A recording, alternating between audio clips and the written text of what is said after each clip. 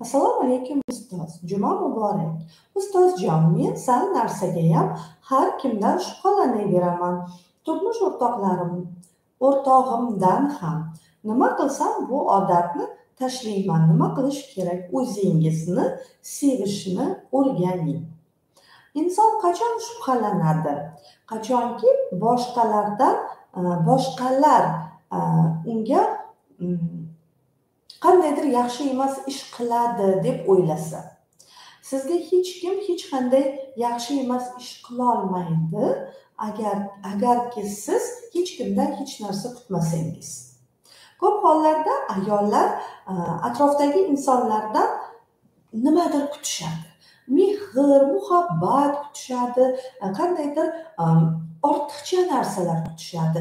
Chunki o'ziga o'sha narsani o'zi berolmaydi o'zi berolmagandan keyin shu narsani atrofdagi insonlari berishini xohlaydi. Lekin atrofdagi insonlardan o'zi xohlagancha ololmagandan keyin ulardan shubha qilishni boshlaydi. Balki menga bermayaptimi demak boshqaga berayotgandir. Menga bermayaptimi demak boshqa yoqqa ketayotgandir degan shubha gumonlar paydo bo'ladi. Bilasizmi agar ayol kishi o'zi energiyaga to'la bo'lsa o'zi energiyaga to'yinsa o'zini tan olgan o'zini qabul qilgan ayol bo'lsa unda u ayol bera oladigan ayollar toifasiga kiradi. Ya'ni oladigan emas beradigan. Qachonki ayol beradigan ayol toifasida bo'lsa unda u ayolni oldiga hamma yaqinlashib keladi.